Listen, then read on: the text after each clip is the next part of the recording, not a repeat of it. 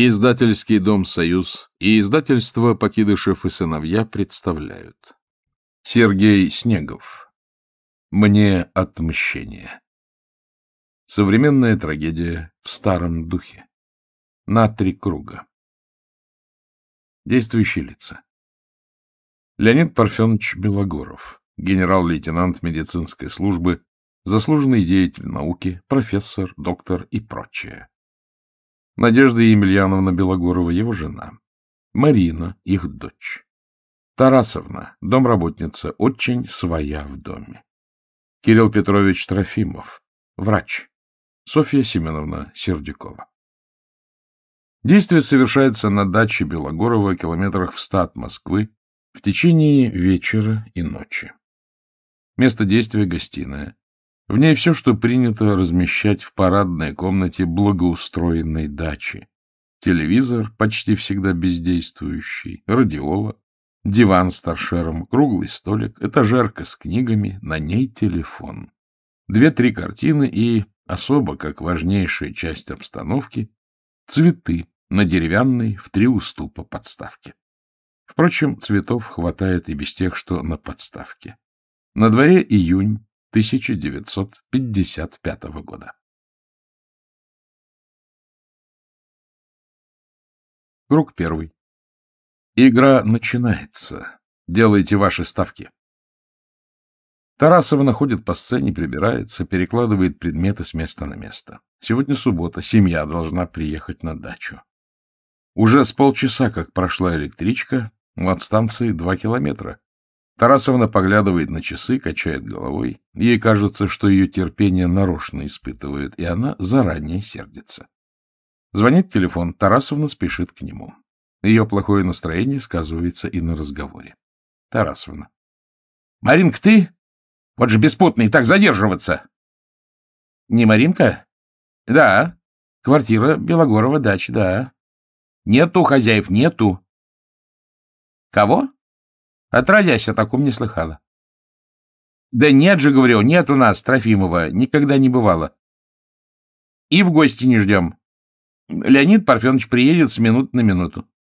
Ладно, звоните, только делает напрасные, да. Кладет трубку. Вот же настырная.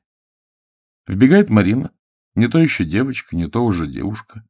Она, естественно, считает себя взрослой. Марина такая живая и говорливая, что не замечаешь, красива она или нет. Марина. — Тарасовна, приветик. Тарасовна. — Одна? — Вдвоем. — Никого не вижу. — А голод? Второй час терзает. Дай заморить червячка. — Пойди умойся. — Не обязательно. — У меня обязательно. Марина напевает, вальсируя. — Тарасовна, у меня ноги не ходят. Ах, какие цветы! Что за чудо наша дачка, Тарасовна! Вновь я посетил тот уголок земли, где я провел изгнанником два года незаметных. Всю неделю мечтала, что в субботу поедем сюда. На речке купаются? Достанешь утром купальник. Голубенький, из прошлого года. Тарасовна, совесть у тебя есть? Ноги не ходят, ты танцуешь. Танцевать я могу и голодная. Единственный способ заглушить муки голода. И языком молотишь. А чем мне молотить? Хвостом? Или руки в ход пускать? Целует Тарасовну. Ты меня доведешь до безумия. Спроси папу. Он тебе разъяснит, что от голода человек тупеет. Так что будет... Э, ужин. До ужина. Колбаски найду, если предъявишь чистые руки. Ради колбасы можно. Убегает, напевая. Тарасовна готовит бутерброд. Марина возвращается и хватает его со стола. — Почему одна? Мама с уважаемым Леонидом Парфеновичем приедут на машине, на электричку они не успели. А ты не с ними? Как видишь, дорогая Тарасовна. С мальчишками ехала. Все провожатые. Попутчики. Ухажеры. Приятели, так скажем. В нашей школе подбор мальчишки неудачный. Сплошь молчальники или трепачи на воздыхателей не тянут. Или рожи строят, или лапсуют. — Как ты сказала? — Ну, на поклонников. Тебе непонятно? Я насчет лап и рож не люблю таких слов. Думаешь, я люблю? Но к мальчишкам нашей школы только такие слова подходят. Все иное — лакировка действительности. Разговаривать с тобой И мальчишки это же говорят. Я жуткая реалистка. Чтобы не разочаровываться, твердо решила не очаровываться. — А провожать тебя за сто верст едут. Пустяки. Со следующей электричкой вернуться. И так каждый раз. Всего один день в неделю. Входят Надежда и Белогоров. Ей лет сорок, ему сорок пять. Он высок, красив, благообразен, значителен. Она проста и сердечна. Неважно, красива она или нет, элегантна или мешковата. Как в дочери все забивает порывистость и говорливость, так в надежде все поглощается женственностью. У нее мягкий, на полутонах голос. Такие голоса всегда называли милыми. Это словечко, вероятно, точнее всего определяет сущность надежды. Она мила. Надежда. Маринка, перед ужином. Марина. Все в порядке, мама. Заправляюсь перед дальним походом к столу. Смотри, если потом не будешь есть. Никаких потом. До ужина я еще дважды проголодаюсь. Как в саду, Тарасовна. Розы расцвели, а сирень уже отошла. Пойдем в сад, Леня. Белогоров, иди одна, я отдохну у себя перед ужином. Работать будешь? Сегодняшний вечер только наш. А разве не все вечера наши? Да когда они наши? Я тебя вижу лишь в электричке, в машине и здесь, на даче, за ужином и обедом. Удивительное совпадение. Именно в это время и я тебя вижу. Еще в клинике встречаетесь. В клинике мы не встречаемся, а работаем. Он дает указания, я исполняю. Ленечка, не садись со статью. Тебя потом не оторвать, а я, честное слово, очень голодна. Ужин готов. Через три минуты можно есть. Марина. Если три минуты, то пройдет ровно тридцать, пока усядемся за стол. Какая я умная, что перекусила. Белогоров поднимается наверх. Надежда и Тарасовна скрываются за внутренней дверью. Марина, напевая, вальсирует вокруг стола. Опять звонит телефон. — Да, квартира профессора Белогорова. Я Марина, дочь. И папа, и мама приехали, да. Кого позвать? Такого нет. Нет, и не слышала о нем. Если бы папа кого ждал, он сказал бы. Хотите, позову папу, он сам объяснит. Ну, пожалуйста, ваше дело. Последняя электричка приходит в 11.40, согласитесь, в гости поздно. Я все-таки позову папу или маму, они, возможно, знают Трофимова. Как хотите. Не стоит благодарности. Входит Надежда с Тарасовной. Надежда. Кто звонил? Какая-то женщина со станции узнавала, нет ли у нас Трофимова. Какого Трофимова? Какой-то ваш с папой знакомый. И меня о Трофимове дама допрашивала. Наверное, это самое. Может, из бывших наших больных? По-моему, был один полковник Трофимов. Ему Леня делал резекцию желчного пузыря, я ассистировала. Два камня с голубиное яйцо, полсотни с горошину, масса песку. И он живет не то в Коломне, не то в Зарайске. Значит, явится с букетом благодарить за выздоровление. Ой, только бы не сегодня. Так не хочется посторонних. Тебе понравилось в саду, мама? Такой воздух, такие краски, Маринка. Пойду полюбуюсь. Тебе лишь бы на стол не накрывать. Пусть идет, Тарасовна. Надежда и Тарасовна раздвигают стол, ставят на него еду. Стук в дверь. Тарасовна. Вот шальная уже с парадного входа зашла. Стук повторяется. Надежда. Марина, не дури! Дверь открывается, и появляется Кирилл Трофимов. Он медленно идет к Надежде. Она ждет его, бессильно опустив руки, лишившись голоса.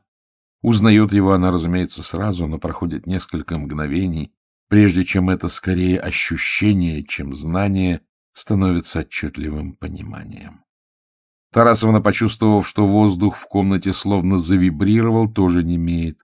Неподвижность и потерянность надежды дают Трофимову возможность начать разговор именно так, как, возможно, он придумывал многие годы. Кирилл. Не узнаешь, конечно. Надежда. Кирилл. Бросается к нему, прижимается, дрожит, беззвучно плачет. Узнала. Ну, не надо, перестань.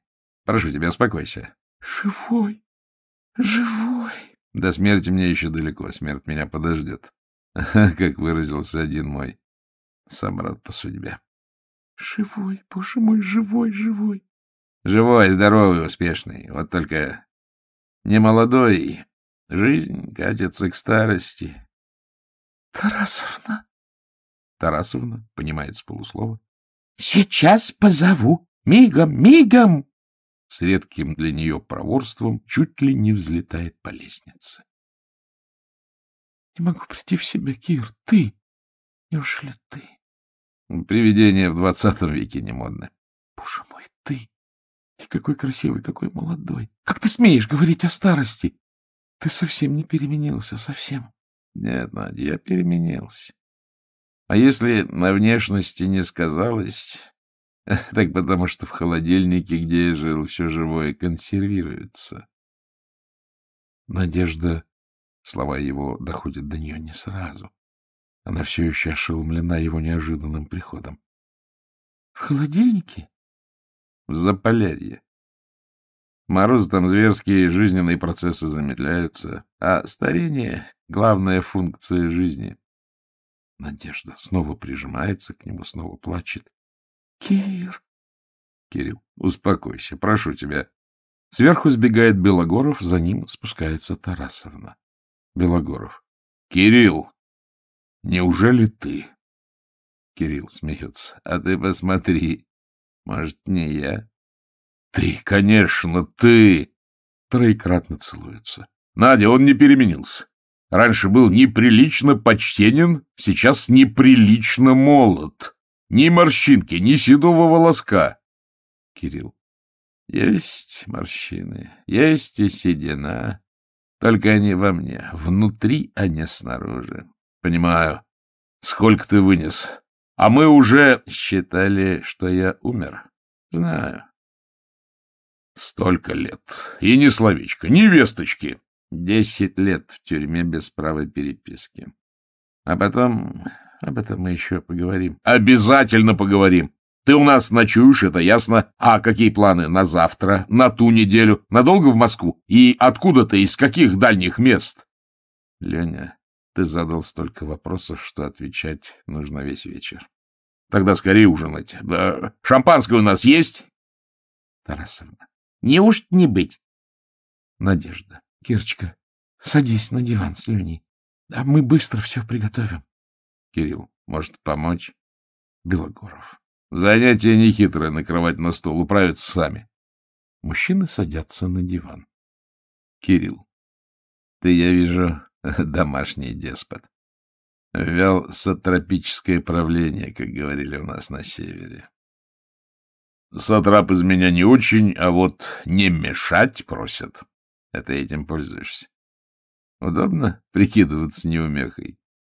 Только в хозяйственных делах. Моя единственная привилегия — ничего не понимать в хозяйстве. В остальном я, в общем, нормальный человек, да и работник, без особых нареканий. Скромничаешь. Думаешь, в своей глуши я разучился читать по-русски? Знаешь, как у нас называется твой курс хирургии внутренних органов? Библией скальпеля. Настольная книга в клиниках. Я внимательно следил, как ты поднимался до всесоюзной знаменитости. Ступенька за ступенькой, ступенька за ступенькой. Какая там знаменитость? Именитость — это да, на это я еще соглашусь. Чины и звания только и всего. Лауреат сталинской премии все-таки. Мало ли кому эти премии давали. Подошла моя очередь получать, получил. Вроде выслуги лет. Надежда. Леня, не скромничай. Если кто и получил премию не за выслугу, а за заслугу, так это ты. Кирилл. Полностью поддерживая, как врач-практик и один из незаметных учеников и почитателей профессора Белогорова. Между прочим, на севере я первый оперировал желчные протоки по твоему методу. И ни одному человеку продлили жизнь твои искусственные желчевыводящие трубы. Белогоров. Не понимаю, Кир. Следил за моей работой, читал мои книги, даже оперировал по моему методу. А чтоб словечко написать, хоть уведомить, что жив, нет? Надежда. Ты ведь не мог не знать, как мы мучаемся от неизвестности. Я начинаю думать, что ты жестокий человек, Кир. Не сердись, я шучу. Я знаю, какой ты добрый, Кирилл. Загадка, правда? А я вовсе не добрый, а жестокий и непреклонный. Я вообще узнал о себе много нового. Ты не можешь быть таким. Я стал таким. Говорю тебе, я переменился. Или точнее, развился. Реализовал изначально заложенные во мне гены жестокости и прямоты. Прям ты был и раньше. А вот насчет генов жестокости... Насчет генов скажу я. У нас в институте шутят. Назовите неприличное слово из трех букв, при упоминании которого все биологические дамы с бородами и без краснеют и опускают глаза. Ответ — ген. Дорогие друзья, вы прослушали фонограмму, созданную издательским домом «Союз» и издательством «Покидышев и сыновья». Копирование, воспроизведение, переработка и иное использование данной фонограммы или любой ее части без согласия правообладателя является незаконным и влечет уголовную, административную и гражданскую ответственность в соответствии с законодательством Российской Федерации. Все права защищены.